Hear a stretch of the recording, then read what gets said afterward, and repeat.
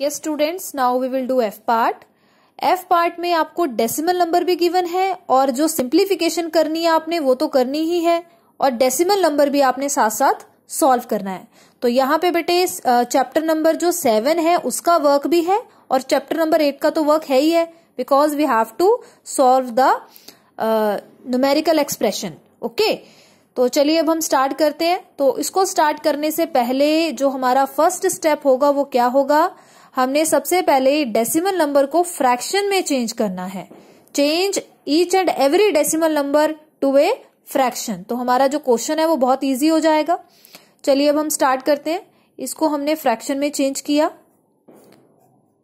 Point के बाद एक डिजिट है तो नीचे हमने एक डिजिट ज़ीरो लगा दी, ठीक है? वन के बाद ज़ीरो लगा दी। और साथ साथ बेटे जो डिवीज़न वाले हैं उसको भी हम चेंज करेंगे।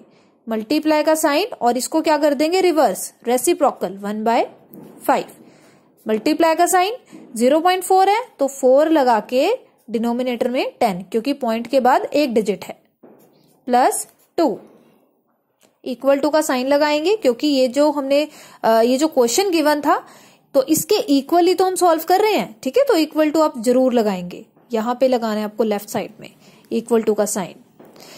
अब हम क्या करेंगे? ये देखिए फाइव वन जा फाइव एंड फाइव फाइव जा ट्वेंटी फाइव न्यूमिनेटर डिनोमिनेटर जो भी आपके आपस में कैंसिल हो रहे हैं, आप उसको कैंसिल कर सकते हैं।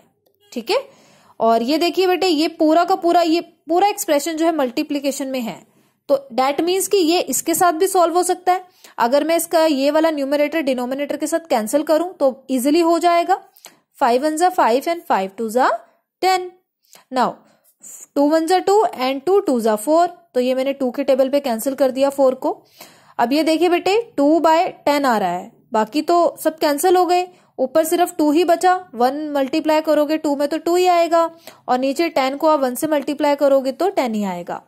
तो that means two by ten है। अगर हम इसको डेसिमल में दोबारा से चेंज करें तो क्या होगा? ज़ीरो पॉइंट टू राइट से हमने एक डिजिट से पहले पॉइंट लगाना है, क्योंकि सिर्फ़ एक ही ज़ीरो है। डिनोमिनेटर में डेट मीन्स कि एक डिजिट से पहले ही पॉइंट लगाएँगे।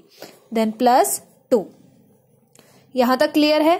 नाउ अब ये देखिए बेटे, ये होल नंबर है इसका ज़ीरो इस डेसिमल नंबर में पॉइंट से लेफ़्ट में जो है, यह है whole number that is zero decimal वाला पार्ट तो ये है राइट में। और यहाँ पे जो होल नंबर है, वो टू है। हमने होल नंबर को होल नंबर से ऐड करना है। इस डेसिमल नंबर का जो होल नंबर है डेट इज़ ज़ीरो और इसका ये जो होल नंबर है that is two zero plus two we get two okay and then point और फिर ये जो है सेम एज इट इज़ हम यहाँ लगा देंगे डेसिमल वाला पार्ट ठीक है? आई होप आपको समझ में आया होगा मैंने किस तरह से बताया है। होल नंबर में होल नंबर ऐड करेंगे, उसको यहाँ लिखेंगे देन डेसिमल लगाना है और उसके बाद डेसिमल वाला पार्ट इधर लिख देना है। ओके चलिए अब जी पार्ट देखते हैं।